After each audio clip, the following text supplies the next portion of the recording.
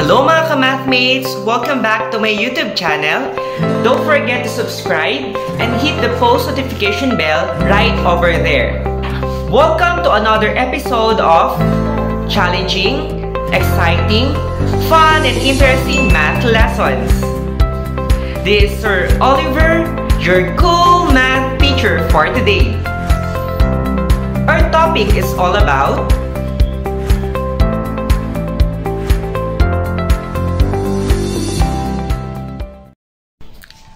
What you will learn today state and illustrate the different properties of the operations on integers. So this lesson is the continuation of the last video that I have uploaded about the properties of integers but this time we will be focusing on the properties of integers for multiplication and division. Now that you have mastered the properties of addition and subtraction on integers, from our last video, let's get going and enjoy as you learn more on integers. There are also properties of multiplication which are of great help in solving problems easier. Again, this topic is very important to master for us to be able to solve such equations. So what are those properties of integers under multiplication and division? So we have the closure property, associative property, commutative property, identity property, inverse property. So kung mapapansin, so these properties is similar with addition and subtraction. But titingnan natin ano ba ang ibig sabihin ng mga properties na ito with regard sa multiplication and division. So yun yung operation na gagamitin. So let's start with the first property which is closure property. Definition Closure property under multiplication states that the product of any two integers is also an integer. So self-explanatory. In symbols, if a and b are integers, then a times b is an integer. So we're in kapag minultiply mo yung dalawang integers, the product or the result will be an integer also. So let's have example. 16 times 3 is 48. So when you multiply the two integers which are 16 and 3, the result is also an integer which is 48. So another example, negative 10 times 4, the answer is negative 40. So two integers were multiplied, so negative and a positive integer, then the result is also an integer. Last example, two negative integers Minultiply negative 23 times negative 9, the result is 207. That is also an integer. So that is for closure property under multiplication. Take note, division of integers does not follow the closure property. So bakit kaya sa division ay hindi fina-follow ang closure property? So what will happen kapag nefa, uh, kapag sinunod yung closure property. Symbols, if A and B are integers, then A divides B may or not, may not be an integer. So just like this example, negative 5 divided by negative 10 the result is 5 tenths or 1 half. So we're in the quotient or the answer is not an integer. So that's why hindi fina-follow sa division yung closure property because the result will not be, may not be an integer. Katulad sa nangyari dito na dalawang integers pinag-divide but the result is not an integer but a fraction which is 1 half. 2 associative property. Definition Associative property of multiplication states that if three integers are multiplied, it makes no difference whether which two are multiplied first. So, it is like same with addition. So, dito naman, kapag nag-multiply daw tayo, it makes no difference whether which two are multiplied first. In symbols, If A, B, and C are integers, then A times B times C is equal to A times the quantity of B times C. Pwede yung dalawang una munang i-multiply, then pwede yung dalawang dulo. Example, 2 times 3 times 7. So, minultiply mo na yung 2 times 3 and then the product will be multiplied to 7. So, 6 times 7 is 42. On the other hand, ang minultiply mo na yung first uh, two last digits. So, yung 3 times 7, the answer is 21. Then, yung product ay minultiply doon sa unang integer which is 2. The answer is 42.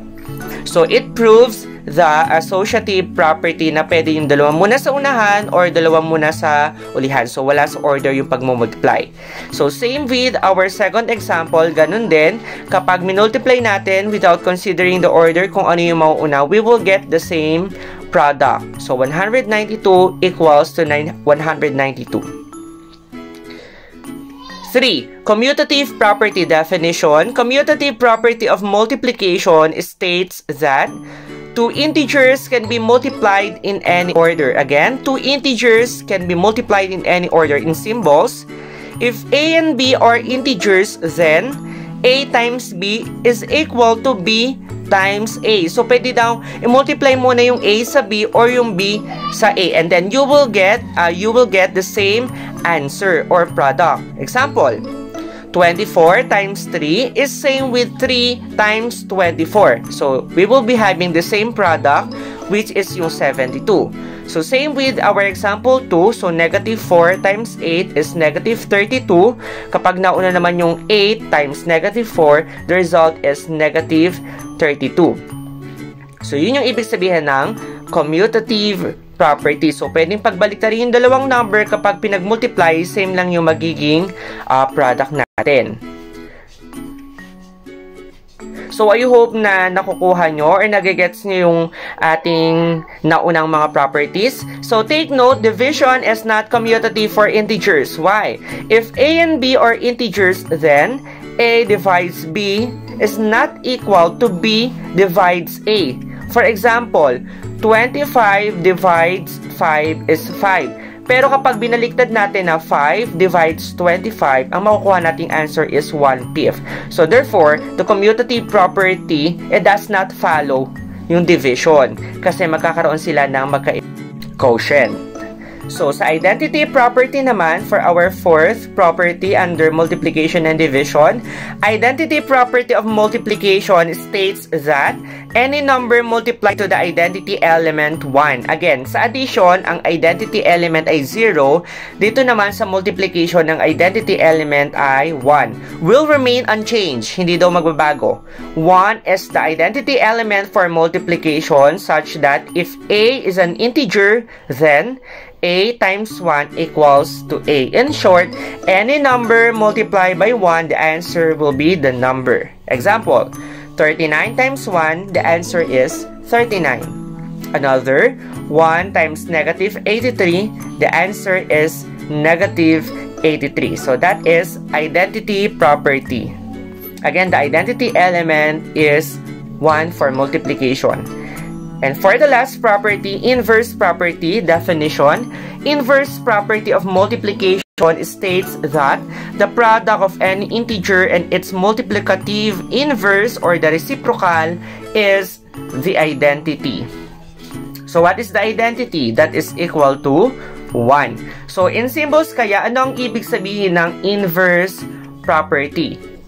So if a is an integer, then a times reciprocal ng a ay 1 over a that is equal to 1. And 1 over a times a equals to 1 provided that a should not be equal to 0 because we know that division by 0 is not allowed because that will make our fraction undefined.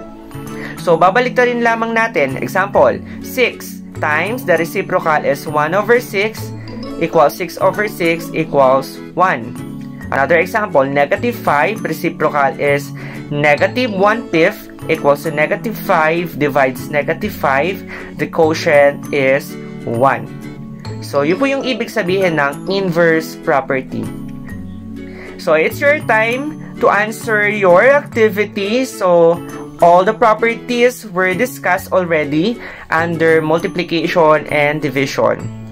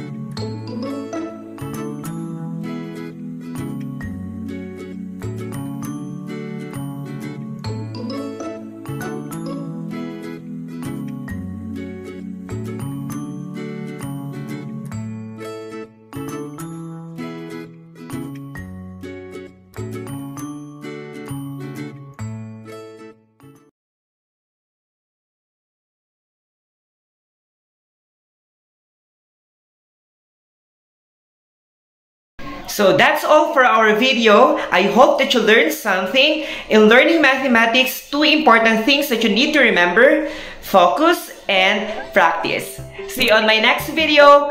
Thanks for watching.